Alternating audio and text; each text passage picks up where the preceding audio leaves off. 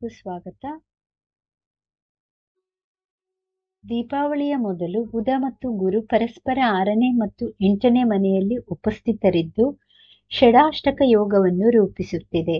ಈ ಯೋಗವನ್ನು ಜ್ಯೋತಿಷ್ಯದಲ್ಲಿ ಅತ್ಯಂತ ಅಶುಭವೆಂದು ಪರಿಗಣಿಸಲಾಗಿದೆ. ಜಾತಕದ ಆರನೆಯ ಮತ್ತು ಎಂಟನೆಯ ಮನೆಯಲ್ಲಿ ಯಾವುದೇ ಶುಭ ಗ್ರಹದ ಉಪಸ್ಥಿತಿಯಿಂದಾಗಿ ಅವರು ಭ್ರಷ್ಟರಾಗುತ್ತಾರೆ ಮತ್ತು ಅವರು ಮಂಗಳಕರ ಬದಲಿಗೆ ಅಶುಭ ಫಲಿತಾಂಶಗಳನ್ನು ನೀಡಲು ಪ್ರಾರಂಭಿಸುತ್ತಾರೆ.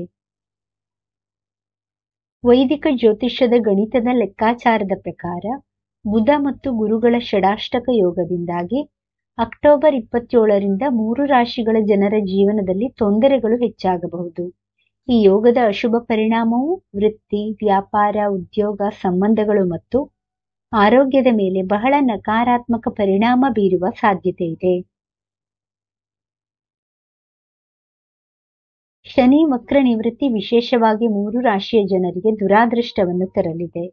ಹಾಗಾದರೆ ದೀಪಾವಳಿಯ ನಂತರ ಶನಿಯು ಕುಂಭರಾಶಿಯಲ್ಲಿ ವಕ್ರ ನಿವೃತ್ತಿಯನ್ನು ಪಡೆಯುತ್ತಿರುವುದರಿಂದ ಯಾವ ರಾಶಿಯವರು ದುರಾದೃಷ್ಟವಂತರಾಗುತ್ತಾರೆ ಎಂಬುದನ್ನು ಈಗ ತಿಳಿಯೋಣ, ಬನ್ನಿ.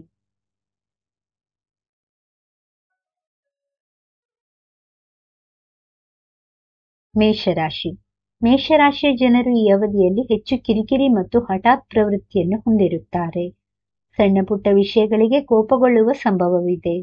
ತಾಳ್ಮೆ ಕಡಿಮೆ ಇರುತ್ತದೆ ಮತ್ತು ನಿರ್ಧಾರಗಳನ್ನು ತೆಗೆದುಕೊಳ್ಳುವಲ್ಲಿ ಆತುರವಿರಬಹುದು. ಹಣಕಾಸಿನ ಪರಿಸ್ಥಿತಿ ದುರ್ಬಲವಾಗಬಹುದು. ಅನಗತ್ಯ ವೆಚ್ಚಗಳ ಮೇಲೆ ನಿಯಂತ್ರಣದ ಕೊರತೆಯು ಹಣಕಾಸಿನ ಸಮಸ್ಯೆಗಳನ್ನು ಹೆಚ್ಚಿಸಬಹುದು. ಆದಾಯದ ಮೂಲಗಳಲ್ಲಿ ಅಡೆತಡೆಗಳು ಉಂಟಾಗಬಹುದು. ಕೆಲಸದ ಸ್ಥಳದಲ್ಲಿ ಸಹೋದ್ಯೋಗಿಗಳೊಂದಿಗೆ ಭಿನ್ನಾಭಿಪ್ರಾಯಗಳಿರಬಹುದು.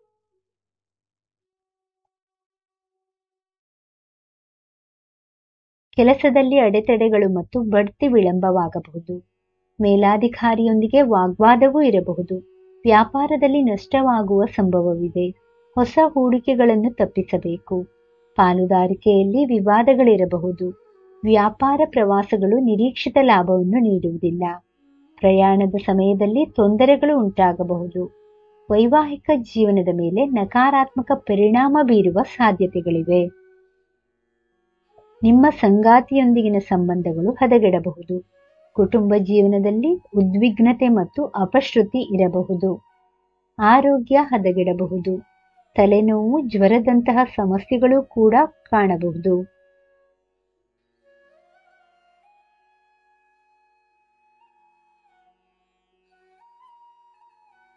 ವೃಶ್ಚಿಕ ರಾಶಿ. ವೃಶ್ಚಿಕ ರಾಶಿಯ ಜನರು ಈ ಅವಧಿಯಲ್ಲಿ ಹೆಚ್ಚು ಚಿಂತಿತರಾಗಿ ಮತ್ತು ಸಂಶಯದಿಂದ ಇರುತ್ತಾರೆ. ಮನಸ್ಸು ಗೊಂದಲದಲ್ಲಿ ಉಳಿಯುತ್ತದೆ. ಕೋಪವನ್ನು ನಿಯಂತ್ರಿಸಲು ಕಷ್ಟವಾಗುತ್ತದೆ. ಕೈಗಾರಿಕೆಗಳಲ್ಲಿ ಅಡೆತಡೆಗಳು ಉಂಟಾಗಬಹುದು. ಹೊಸ ಯೋಜನೆಗಳನ್ನು ಪ್ರಾರಂಭಿಸುವ ಮೊದಲು ಎಚ್ಚರಿಕೆಯಿಂದ ನಿರ್ಧಾರಗಳನ್ನು ತೆಗೆದುಕೊಳ್ಳಿ. ಚಿಲ್ಲರೆ ವ್ಯಾಪಾರದ ಮೇಲೆ ನಕಾರಾತ್ಮಕ ಪರಿಣಾಮ ಬೀರಬಹುದು. ಕಡಿಮೆ ಗ್ರಾಹಕರು ಇರುತ್ತಾರೆ ಮತ್ತು ವ್ಯಾಪಾರದಲ್ಲಿ ನಿಧಾನವಾಗಬಹುದು. ಸ್ಪರ್ಧೆ ಹೆಚ್ಚಾಗಬಹುದು. ಋಣಭಾರ ಹೆಚ್ಚಾಗಬಹುದು ಮತ್ತು ವಿದ್ಯಾರ್ಥಿಯ ವೃತ್ತಿ ಜೀವನದ ಮೇಲೆ ನಕಾರಾತ್ಮಕ ಪರಿಣಾಮ ಬೀರುವ ಸಾಧ್ಯತೆ ಇದೆ. ಅವನು ಅಥವಾ ಅವಳು ಪರೀಕ್ಷೆಗಳಲ್ಲಿ ಉತ್ತಮ ಅಂಕಗಳನ್ನು ಪಡೆಯದಿರಬಹುದು ಮತ್ತು ಅಧ್ಯಯನದಲ್ಲಿ ಆಸಕ್ತಿ ಹೊಂದಿರುವುದಿಲ್ಲ. ಶಿಕ್ಷಕರು ಮತ್ತು ಗೆಳೆಯರೊಂದಿಗೆ ಸಂಬಂಧಗಳು ಹದಗೆಡಬಹುದು. ಕುಟುಂಬ ಸದಸ್ಯರೊಂದಿಗೆ ಭಿನ್ನಾಭಿಪ್ರಾಯಗಳಿರಬಹುದು. ಮನೆಯಲ್ಲಿನ ವಾತಾವರಣವು ವೈವಾಹಿಕ ಜೀವನದ ಮೇಲೆ ನಕಾರಾತ್ಮಕ ಪರಿಣಾಮ ಬೀರುತ್ತದೆ. ವೈವಾಹಿಕ ಜೀವನದಲ್ಲಿ ಉದ್ವಿಗ್ನತೆ ಮತ್ತು ಅಪಶ್ರುತಿ ಇರಬಹುದು.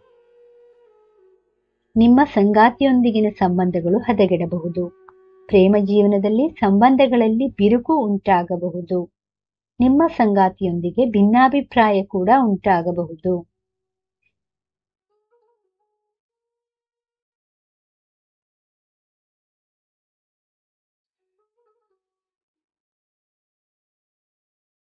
ಮೀನರಾಶಿ. ಮೀನರಾಶಿಗೆ ಆದಾಯದ ಮೇಲೆ ನಕಾರಾತ್ಮಕ ಪರಿಣಾಮ ಹಣಕಾಸಿನ ಪರಿಸ್ಥಿತಿ ದುರ್ಬಲವಾಗಬಹುದು. ಅದೇ ಸಮಯದಲ್ಲಿ ವೆಚ್ಚಗಳು ಇದ್ದಕ್ಕಿದ್ದಂತೆ ಹೆಚ್ಚಾಗಬಹುದು. ಈಗ ಹೂಡಿಕೆ ಮಾಡುವುದನ್ನು ತಪ್ಪಿಸಿ. ಉದ್ಯೋಗ ಮತ್ತು ಇತರ ವೃತ್ತಿಯ ಮೇಲೂ ನಕಾರಾತ್ಮಕ ಪರಿಣಾಮ ಬೀರುವ ಸಾಧ್ಯತೆಗಳಿವೆ. ಉದ್ಯೋಗದಲ್ಲಿ ಅಸ್ಥಿರತೆ ಉಂಟಾಗಬಹುದು. ಸಹೋದ್ಯೋಗಿಗಳೊಂದಿಗಿನ ಸಂಬಂಧಗಳು ಹದಗೆಡಬಹುದು. ವ್ಯಾಪಾರದಲ್ಲಿ ನಷ್ಟವಾಗುವ ಸಂಭವವಿದೆ. ಪಾಲುದಾರಿಕೆಯಲ್ಲಿ ವಿವಾದಗಳಿರಬಹುದು. ಪ್ರಯಾಣದಿಂದ ನಿರೀಕ್ಷಿತ ಲಾಭ ದೊರೆಯುವುದಿಲ್ಲ. ಪ್ರಯಾಣದ ಸಮಯದಲ್ಲಿ ತೊಂದರೆಗಳು ಉಂಟಾಗಬಹುದು. ಕೈಗಾರಿಕೆಗಳಲ್ಲಿ ಅಡೆತಡೆಗಳು ಎದುರಾಗಬಹುದು. ಹೊಸ ಯೋಜನೆಗಳನ್ನು ಪ್ರಾರಂಭಿಸುವ ಮೊದಲು ಎಚ್ಚರಿಕೆಯಿಂದ ನಿರ್ಧಾರಗಳನ್ನು ತೆಗೆದುಕೊಳ್ಳಿ. ಕಡಿಮೆ ಗ್ರಾಹಕರು ಇರುತ್ತಾರೆ ಮತ್ತು ವ್ಯಾಪಾರದಲ್ಲಿ ನಿಧಾನವಾಗಬಹುದು. ಸ್ಪರ್ಧೆ ಹೆಚ್ಚಾಗಬಹುದು. ಆರ್ಥಿಕ ನಷ್ಟವಾಗುವ ಸಂಭವವಿದೆ. ವಿದ್ಯಾರ್ಥಿಗಳ ವೃತ್ತಿ ಜೀವನದ ಮೇಲೆ ನಕಾರಾತ್ಮಕ ಪರಿಣಾಮದ ಅಧ್ಯಯನದಲ್ಲಿ ಆಸಕ್ತಿ ತೋರುವುದಿಲ್ಲ ಮತ್ತು ಪರೀಕ್ಷೆಗಳಲ್ಲಿ ಉತ್ತಮ ಅಂಕಗಳನ್ನು ಪಡೆಯಲು ಸಾಧ್ಯವಿಲ್ಲ. ಶಿಕ್ಷಕರು ಮತ್ತು ಗೆಳೆಯರೊಂದಿಗಿನ ಸಂಬಂಧಗಳು ಹದಗೆಡಬಹುದು. ವೈವಾಹಿಕ ಜೀವನದಲ್ಲಿ ಉದ್ವಿಗ್ನತೆ ಮತ್ತು ಅಪಶ್ರುತಿ ಇರಬಹುದು.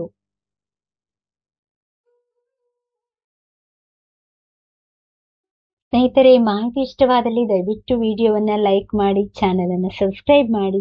ಕೇಳಿದ್ದಕ್ಕಾಗಿ ಧನ್ಯವಾದಗಳು. Thank you for watching. Please like, share, comment and subscribe to Ayushvani.